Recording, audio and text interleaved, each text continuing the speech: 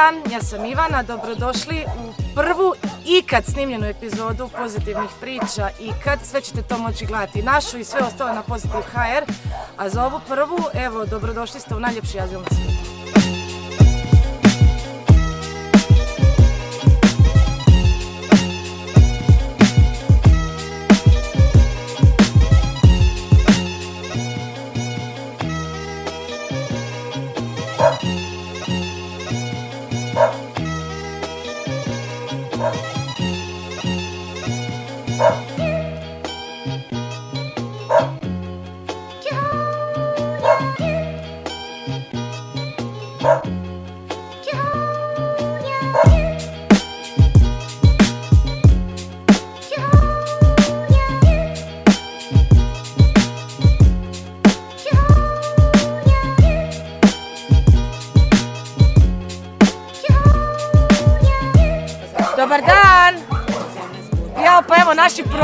Profesori. Čovjek koji je uveo predmet prava životinja na pravni fakultet u Još šeće pse u azilu.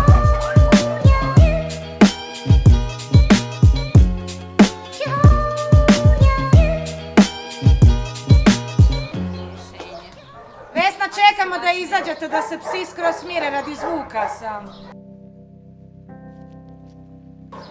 Znači od tog najgoreg, najhororističnijeg, sjećam se kad sam prvi put došla, 2007. Kao mi smo došli na biciklima, ono, idemo vidjeti kako izgleda azil, idemo nekog prošetat. Ja sam tu stajala jedno dva sata plakala, ja nisam mogla, kod me neko iz nekog helikoptera negdje torpedirao, negdje bogu iza nogu. Znači samo par kilometara od tamo gdje živim, od moje ulice, od moje kuće. Jedan takav konclogor tada, jedan takav horor i onda smo ono, bilo nas je troje, možeš ili otići kući plakati i prepričavati svima kak je grozno ili možeš nešto napraviti. Ovo sad, gle sad, sve ovo oko nas, to niš nije postojalo kad smo mi tek preko došli u Aziju. Odnosno, postojalo je, ali to je bilo šikaretina, a nismo ni znali da išta dobro postoji. Znači, ajmo reći da je malo manje od jedne polovice azila bilo, znači to sve tamo, iza tebe to je, tamo je živjelo između 250 i 300 pasa i nismo imali blage veze. No, koliko ih je, nisu bili čipirani, cijepljeni, nisu bili kastrirani, znači štenaca je bilo, ono sam su izlazili jadni od, svuda. Stopa smrtnosti je bila ogromna.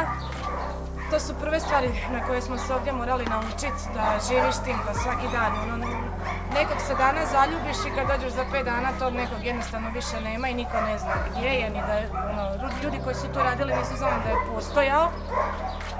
Nije postojala nikakva evidencija, znači koliko je pasa, a pogotovo da, da su imali svoje imena, da su bili cijepljeni, čipirani, to je bila znanstvena fantastika u to vrijeme, da neki kao san da se to uopće Ja ne vjerujem, ja kad danas Otkrivali su se psi koji su bili mjesecima ono pod kućicom mrtvi ležali na na radnim akcijama dok se sve raščišćavalo su se otkrivali leševi doslovno po dvorištima za koje se nije znalo ni koji je to pas, ni od kada je u azilu, koliko dugo, što se dogodilo s njim. Princip preživljavanja. Bacala se hrana na sred dvorišta koji je jači, taj je preživio, taj se nahranio, koji je slabiji, taj je bio ozlijeđen ili u najgorem slučaju kroz neko vrijeme mrtav. Onako šipraži od metar kroz koje se moraš probijat. Kad smo to čistili, ova staza se uopće zapravo nismo znali da ispod postoji ova staza. Da se je bilo puno smeća, znači mi smo kopali do toga i skužili smo beton i onda smo vidjeli, ajde čistit ćemo pa da vidimo kako to ide, a to je zapravo ide u krug. i onda smo krenuli smo, ono, svi imaš prvo svoje prijatelje, živio Facebook, onda smo pričali ono preko Fejsa, i tak vidiš ono 90% nas se Radne nismo akcije, upoznavali. vikendom. Jelena došla 2008. 2009. u 2009. I tad je još uvijek Ovo su tri izgledalo. generacije azilantica Da, da, da. zapravo. Da ti ispričam kak, kak je uopće gospođa dobila posao, odnosno Ajde. kak je to. Znači kad smo objavili da tražimo djelatnicu ili djelatnika, javilo se preko 80 ljudi. Znači da bude tako puno prijava kod Da, nas. je, je, je. ljudi žele biti dijelom ove do, priče pozitivna, dobra i ja kužim zašto ljudi ono žele biti dijelom. Naravno ja odmah pokušavam slomiti sve romantične vizije kad dođu na razgovor da ne misle ja kak je sad se držimo za ručice i tu pjevamo po cijele dane po azilu. Ima tu užasno puno i stresa i ono, mislim, naravno, svaki posao nosi svoje, pogotovo kad brineš o živim bićima, imaš posla sa svakakvim ljudima, naravno da je užasno stresno. Ali kad sam vidjela da je Tanja predala molbu, odnosno napisala je da još uvijek zaposlena, da radi. Premda smo u početku smo recimo takve smo u startu diskvalificirali, jer onak imaš neku egzistenciju bezbjeđenu, znaš, Da, ono, nekako smo, uvijek smo, ja uvijek kažem, jedan svijet, jedna borba. Borba za životinje ne može nikako isključivati borbu za ljude i, i obratno. Ovaj, ali sam se, toliko sam te se sjećala i to su mi uvijek tako bile prekrasne ovaj, motivirajuće poruke kad, kad Tanja pošalje od krona svog udomljenog psa, je kod nje na, na tebe bio na privremenom dugo. I uvijek su imali te fotke, skupa se stalno slika i onda uvijek imaju isti kez, iste sunčane, iste kape, uvijek je onak, i to nam je svima tak bila špica, ono dan kakav god da ti je, ona pošalje fotku i napiše ono par rečenica i mi svi ono, odmah ti kez od uva do uva. I čim smo vidjeli da je, da je poslala prijavu, mi smo odmah rekli, ma to će biti 100% to, evo. Viš? Da. A ja sam uglavnom završila faks, dobila posao svojoj struci i nekako me to uopće nije ispunjavalo i onda sam vidjela da traže novu djelatnicu, to je djelatnika, ali to su većinom sve žene. Ovaj, I vidim ono već se prijavilo 60 ljudi, rekao ma nema šanse, ono, prekasno sam vidjela i onda sam došla na razgovor i eto, svi su me prihvatili, baš me je tu e, to stvarno ozbiljno. Pusti suzu da bude vjerodostojna. E, ali skoro, i- skoro i ako nastavim pričat onda bolje da stane. Pa ja sam baš rekla na starom poslu kad sam išla ono, doslovno idem s grčem na posao i idem s posla, ono idem s posla ono kao sutra opet, sutra opet. Muka ti je od same pomisli. Ovdje uopće A čekaj, jesi studirala baš zato što si to htjela? Ili ajmo reći ono, pisala si fakultet, evo da idem na fakultet. Mislim, jesi bila zaljubljena u taj smjer, u taj fakultet koji si upisivao? Pa u biti upisala sam hortikulturu i bila sam zaljubljena, ajmo reći, u cvijeće, iako nisam znala apsolutno ništa. I nisam ni znam, trebala reći da sam završila, jer sam čim sam došla dobila sam da uredim vrt onaj tamo. Ona mene čeka na ogradi, ja kažem znam, znam šta ću raditi, nisam došla. ono. Šta ti je najbolji, a što najgori dio posla? Ako ga imaš. Pa da ti budem iskrena, nije sada, nije sada ono, kenjam, nego stvarno nemam, nemam najgoreg dijela. Sve super? Da, i čak mi se sviđa i ta fizikalija, čak sam i bice nadudala, dobila boju, den, tako da ovaj, nemam, nemam najgori dio. E, imam u biti. Najgori dio posla mi je taj kad radim, imam dosta posla što u biti e, premalo vremena provodim na, žetvu sa ljudi- sa ljudima. Maži. I sa ljudima. A ćemo se. Da li ti smeta lanja? To sam te jučer pitao, ali me zanima. Ja kažem, ja da se tu pojavim i da dođem kući spavati. Ja mislim da bi ja sam čuo Da ne mogu zaspati. Doslovno ne doživljavaš to lajanje, ono. I nije da oni cijelo vrijeme laju, evo dobro, tamo sam kad se spomenula, zalajali su, ali doslovno ne doživljavaš, pa zašto bi mi to smetalo? Kako ljudi pričaju, tako oni pričaju isto na svoj neki... Bolje slušati psea nego ljude neki. Pa da. Zapravo mi je jako čudno da neko završi fakultet i... Svi ono, smo tu skoro fakultetski obrazovani. Svi. Skoro svi. 90% ljudi koji radi u azilu su fakultetski obrazovani. Od najtužnijeg, Koliko si ti godina najtužnijeg imala? mjesta na planeti, ono koje sam ikad upoznala, mi smo 13. došli danas do ono... Ja bih rekla meni, a i mnogim ljudima znam da je tako, ono najljepše točke na planeti.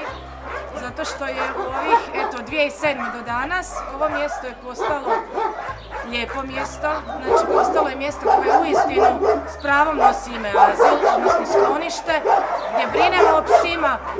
Ovo je postalo mjesto iz kojeg se udomilo preko 2000 pasa do danas. Ovo je postalo mjesto u kojem smo se sve mi upoznali, upoznali mjesto gdje smo pronašli svoje partnere i partnerice, mjesto gdje smo se zaljubljivali, rasli, mijenjali se, postajali najbolji prijatelji i ono što je danas mogu reći za ovaj azil, kad kažem da je ovo najljepši azil na svijetu, to znači toliko puno toga zapravo, ali to e, zapravo najviše znači da ga vole super ljudi.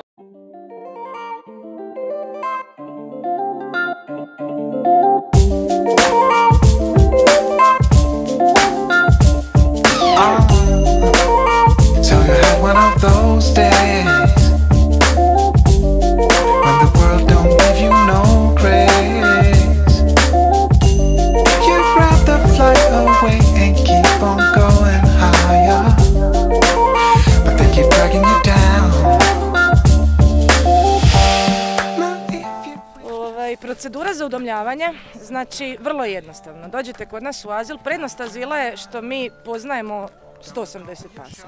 Znači dođete kod nas i kažete primjerice, ja sam jako aktivna osoba, volim trčati maratone, svaki dan trčim 5 km, treba mi neki aktivan pas koji će moći pratiti moj tempo. Ili ja sam foteljaški tip, volim igrice, htjela bih imat psa da mi pravi društvo, ali da samo tri puta dnevno ono, izađemo van na kratko i tako dalje.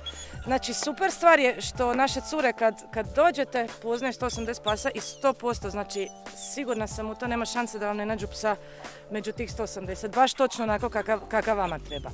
Šta onda radimo? Onda vam zapravo damo upitnik, vi, ga ispunite, nisu to nikakva svemirska pitanja, ne zadiremo toliko u privatnost, osim toliko je to da mi saznamo o vama neke stvari, znači upravo to, kakav pas vam treba, da li ste podstanar, nije naravno uvjet da niste podstanar, uvjet je samo da budete svjesni toga da ćete možda promijeniti stan, kuću i tako dalje i morat povesti svog psa sa sobom. E, da li ste ozbiljni u toliko da ne znam, evo, da razmišljate o tome ako možda živite sami i što sad desi vam se bilo šta, slomite nogu, ne znam, razbolite se, ono da razmišljate o tome da li će netko moći preuzeti brigu o vašem psu ukoliko vi ne budete mogli. Znači to su sve one neke da vidimo da li ste u stanu, da li ste u kući, šta možete sve pružiti psu i po tome onda znači zajedno idemo birati psa po azilu. Psi se ne biraju po ljepoti i po vanjštini, jednako kao i ljudi zapravo.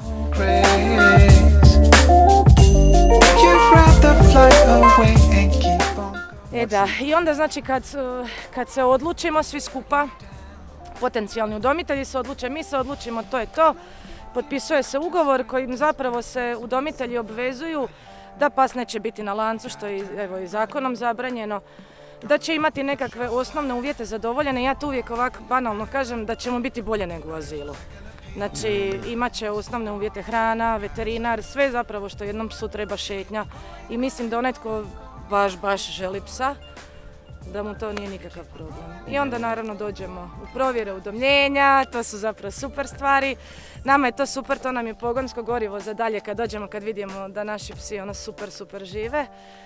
I ljudi nas zapravo vole ono gostit, vole se pohvalit kak njihovi psi žive, skuvat nam kavicu, ponudit nas rakijicom i tak. I mislim da smo evo tu našu familiju u tih 10 godina koliko sad ovo radimo, da smo povećali za preko 2000 pasa smo udomili, eto puta svi ti udomitelji i udomiteljice, postajemo najveća familija na svijetu.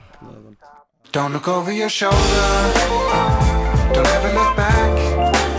No use for second opinions. Znači, jesi baš htjela nju ili... E, pa zapravo moj dečko je nju gledao, ali smo prošli sve bokseve sa tetom iz azila. Ona nam je objašnjavala ovaj pas vam nije za stan, ovaj pas je za stan, ovaj pas je za dvorište. I sve smo prošli i, i dalje smo držali se odluke za.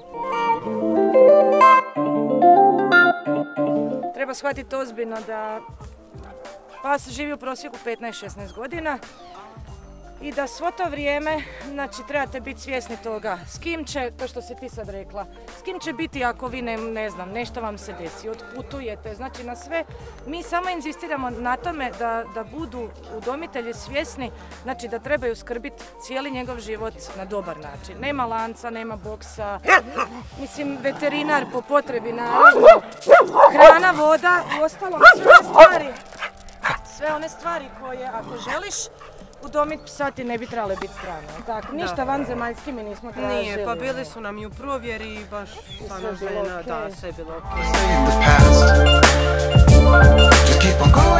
Stanu, svoje zdjelice, svoj kutak. i- Živi unutra, jel? Da, da, u E, kak se, je. jel to sve bilo okej od početka? Je, ono, kad je, baš, mm, mislim donijela je, u početku je donosila moju jednu papuču i od mog dečka jednu papuču, to, to je bio znak, ovaj, čisto oko da joj falimo kad nam je među smjena.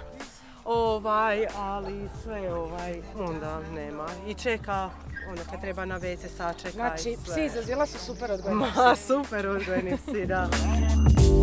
You need to crawl back on your feet and keep on fighting. And don't ever stop. Don't look over your shoulder. Don't ever look back.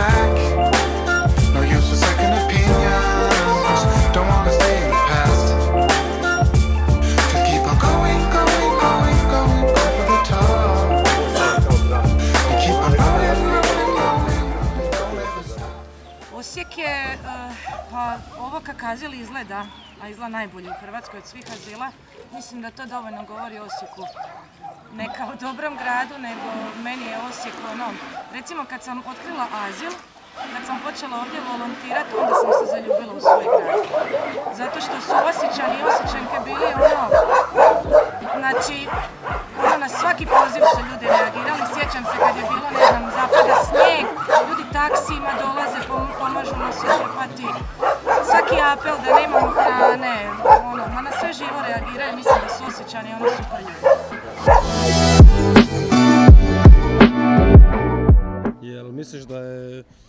Đakovo isto dosta dog friendly ili je Osijek ipak malo, malo jači?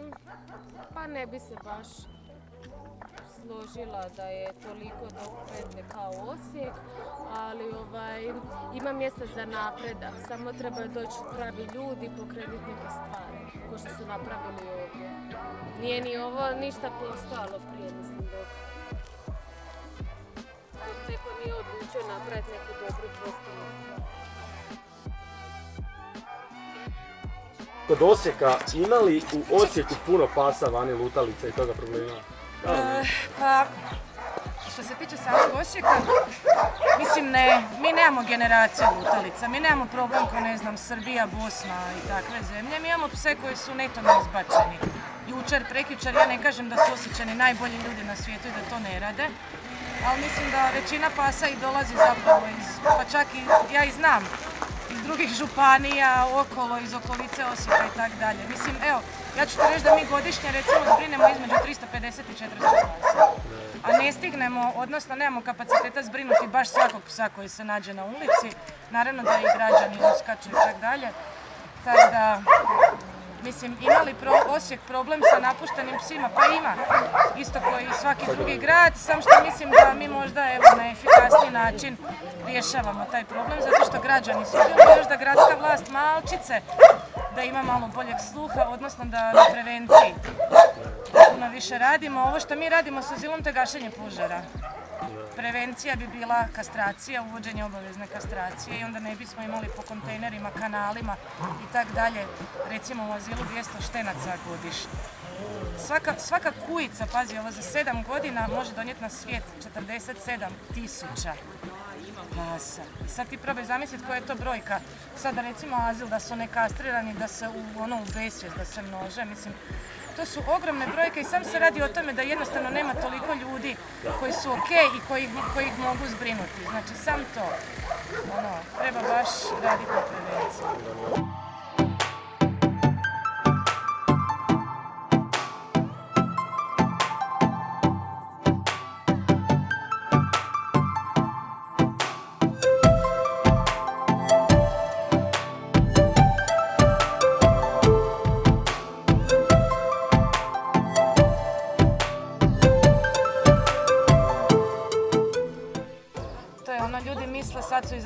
Ograda pa su sigurni, iako je ono teško nama i u azilu održavati sigurnost i red. Šta ti misliš, 180 pasa, dovoljno da jedan zakuva u nekom boksu pa se krenu tući, ne znam, stalno moramo paziti. Da, znaš, ono, da su čopori ok, da mogu jedni s drugima. Mi imamo pasa koje smo oduzimali recimo s policijom i inspekcijom, koji su nesocijalizirani, a ogromni su, recimo i opasno su ono i recimo za druge pse moraju sami I, I sad kad si već to spomenula, zanima me kako ih sortira. Znači, dobiješ jednog profila... kako s kim, Da, znači ono? koliko kvarite te pse, mislim tu mi je čudno, vidim da ono, ovaj ne može s ovim, ovaj ne može s ovim. Da, E pa vidi, kad psi dođu, idu u, iz- u izolaciju, znači tu provede sam 10 dana u boksu. Za tih 10 dana ti mi s njim, ono, vodimo ga u šetnju, neki nisu u životu bili na povodcu, onda ga učiš, socijaliziraš ga zapravo i vidiš kak reagira, kak reagira na druge pse, kak reagira na ljude, radimo nekakvu procjenu, da tako kažem. I onda idu dalje, nakon tih 10 dana mi već vidimo po njegovom karakteru koji boks. Znaš, bi ga mogli smjestiti, onda to uvijek recimo bude ujutro, tako da imamo čitav dan na raspolaganju da vidimo hoće li to ono klikniti, upoznajemo ih u šetnjama ili u ispustu negdje na neutralnijem terenu. Automatski, znači ih ne, ne stavljamo psa u taj već postojeći boks fizički, nego cijeli, sve te pse iz tog boksa izvedimo i stavljamo u drugi. Znači, mijenjamo zato što su psi teritorijalni, znaš, pa pazimo odmah da su, jel staviš ih u drugi boks, onda su oni malo nesigurniji. Znaš, i onda neće napadat ovog petog sad koji im je novi član, nego ipak, znaš, malo prostor vamo tamo, jer nisu više na njihovom terenu, kužiš negdje, ono. pa da, kužiš negdje novi. Gle, neki su psi, ono, savršeni, znači savršeni, ko da su sad iz nečeg kreveta izašli, možda jesu, kužiš, a neki su ono, malo su konfliktniji, kužiš, pa ipak trebaš malo raditi s njima.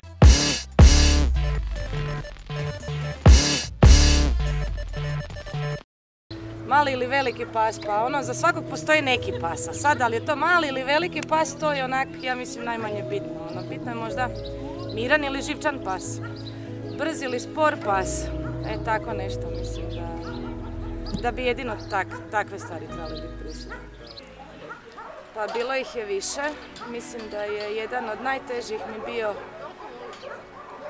kad je umrla Seka, nju sam, ona mi je možda prva ljubav za Zila.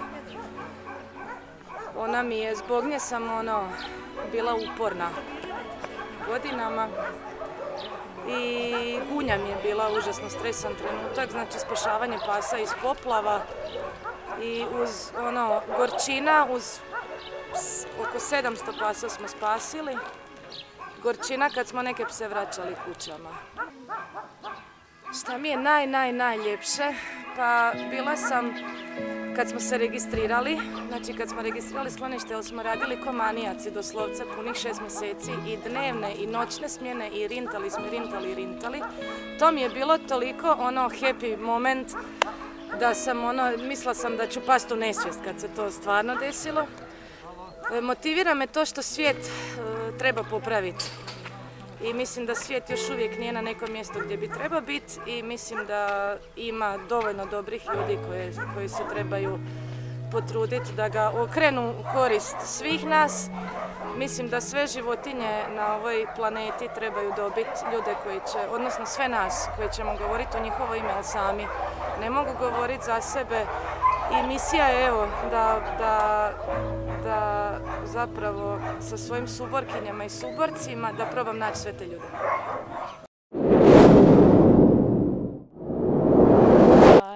Pozvat, pozvat sve ljude da dođu u azil, da dođu prošetat pse, da uvijek se nešto ima tu za radit, za napraviti. Pozivam ljude ono na što više udomljavanja. Evo, ako, ne, ako se nekom sviđa mare, mala razigrana. E, mislim, kad se udomi pas e, u azilu, vi u biti spašavate dva života. E, psa kog ste udomili i onog psa koji je na ulici i treba smještaj i treba, treba brigu i dom. E, hvala Pozitiv HR-u što smo bili prvi, prvi, prvi, prvi ikad. I rekla sam dečkima kad budu primali nagradu, znači nas se sjetite. E, zato što smo, eto ispade da smo nekako jedna od najpozitivnijih priča u gradu, ja sam sigurna u to. Dođite pojačati ovu pozitivnu priču kad god hoćete, naša su vrata svima vama širom otvorena svaki dan. Dođite, udomljavajte, pronesite dobre vijesti dalje i dođite da zajedno radimo bolji svijet.